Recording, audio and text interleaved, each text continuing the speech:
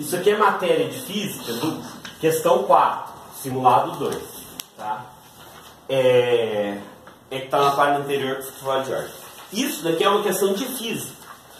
Só que a diferença da física é que você não tem a fórmula, você tem que saber a fórmula de cor.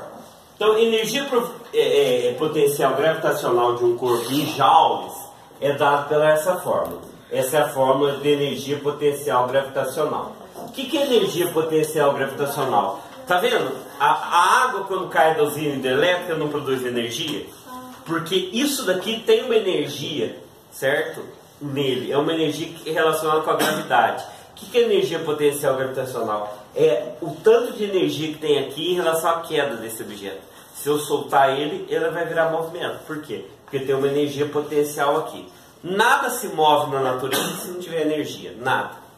Você só consegue se movimentar porque você se alimenta. E do alimento vem energia química que transforma a energia do movimento. Vocês vão estudar no ensino médio. Então, esse corpo só cai porque tem energia aqui. Certo? E essa energia depende do peso do pincel, da aceleração da gravidade e da altura. Vocês já notaram que se eu soltar um objeto daqui até o chão, ele, e ele cair em teu pé, não vai doer muito. Mas se eu jogar um dessa janela e teu pé estiver lá embaixo, cair em cima do teu pé, vai doer muito mais, não vai? Vocês já ouviram falar que, que se você atacar de um prédio uma pedra, ela pode matar uma pessoa? Você está num prédio, você está com o negócio, ela vai cair no chão, vai causar estrago. Porque ela está caindo muito alto, igual um meteorito caindo na atmosfera. Certo? Ele vai caindo, ele, ele, é, eles pegam fogo porque eles. por causa de outros fatores, mas se não tivesse ar, nem oxigênio, nem nada, e ela fosse cair na terra, ele ia aumentar. Então, quanto mais alto isso aqui, maior o impacto. Se eu soltar isso aqui e cair no meu pé, é normal. Se estiver no teto, vai doer mais. Por quê? Quanto mais alto, mais energia tem.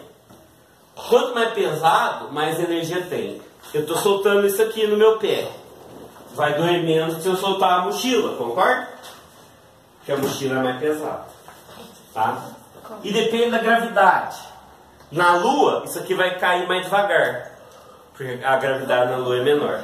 Então depende desses três fatores de energia. Tá? A massa, esse M é a massa em quilos.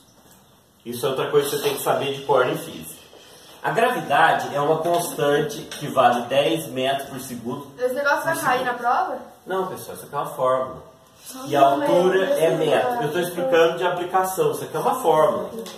Tá? Aqui, o, tá falando no texto o que, que é isso, entendeu? Está falando, está explicando a matéria.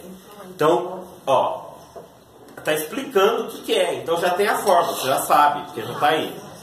Daí está falando assim: um átomo de hidrogênio, presta atenção na minha explicação, tem massa de 1,7 vezes 10 a menos 27 quilos.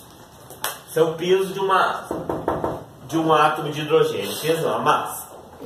Sabendo que esse átomo está a uma altura de 100 metros, desconsiderando todos os fatores, como atrito, pressão atmosférica, empuxo, etc., qual seria a energia potencial gravitacional desse átomo? Pablinho, eu expliquei para vocês entenderem o conceito. Mas na realidade aqui, você só precisa saber uma coisa. Eu dei o valor de G, o valor de M, o valor de H. É só jogar na fórmula. Entendeu? Lá no ensino médio, eles vão dar exercício assim para vocês, só que vocês têm que saber o significado. Eles vão falar assim: qual é a energia de um, de um átomo de massa tal, de altura tal, no planeta Terra. O resto você tem que saber. Aqui eu já expliquei o que é a coisa. Então é só substituir na fórmula. Energia potencial gravitacional é igual a massa de 1,7 vezes 10 a menos 27, vezes a gravidade, que é de 10, vezes a altura, que é de 100. Aí eu já disse que a resposta é em joules. Está lá no começo. Joules é um J. No ensino médio tem que saber de cor que aquilo é física, que é só, só multiplicar os três valores. Agora vamos pensar o seguinte. Não, olha como é fácil. 10 não é 10 elevado a 1? 100 não é 10 elevado a 2? 10 elevado a 3, né? Eu vou dizer menos 27 mais 1, quanto que é menos 27 mais 1? Menos É 26. Menos 26 menos, menos mais 2? Menos 24. Menos 24. Então isso aqui dá 1,7 vezes 10 a menos 24. Essa é a resposta. Em joules.